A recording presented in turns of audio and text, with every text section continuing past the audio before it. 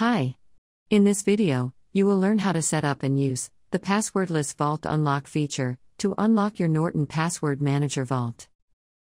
To begin with, ensure that you have both the Norton Password Manager app, version 6.2 or later, installed on your iOS or Android mobile device, and the Norton Password Manager browser extension, version 6.3 or later, installed on a desktop browser on your PC or Mac.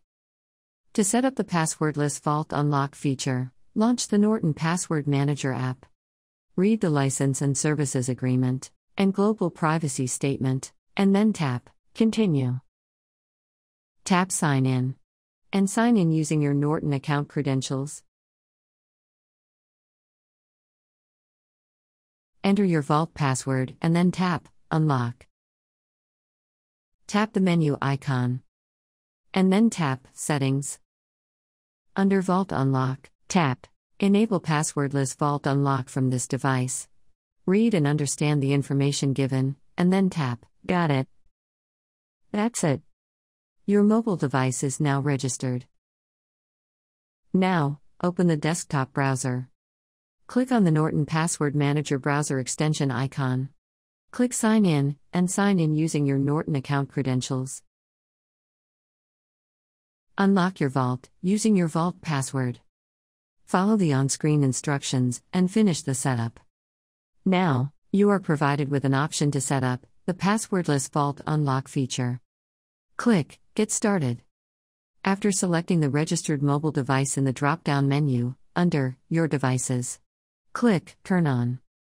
Before clicking, ensure that the Always Perform Passwordless Vault Unlock on Browser Startup checkbox is selected. That's it. Click Done. On the left menu, click Settings.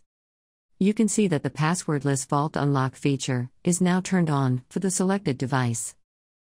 As the setup is now complete, let us see how to use this feature. Exit and relaunch your desktop browser. As soon as you open the browser, an unlock request notification is automatically sent to your registered mobile device. Watch out for this unlock notification on your mobile device and tap Approve to approve it. That's it.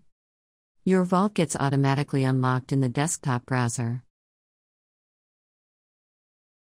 At any point in time, if you wish to disable it, click on the Norton Password Manager browser extension icon. Click on the menu icon and then click Settings. Click See All Settings. On the Settings page, click Edit next to the mobile device name in the Passwordless Vault Unlock section. Click Deactivate. In future, if you wish to enable this feature in another registered device, use the Turn On option provided here to choose the device and turn on the passwordless Vault Unlock feature. Click Done. If you use multiple browsers, you need to install the Norton Password Manager browser extension and configure the passwordless Vault Unlock feature for each browser independently. That's it. Thanks for watching. For more help, please visit support.norton.com.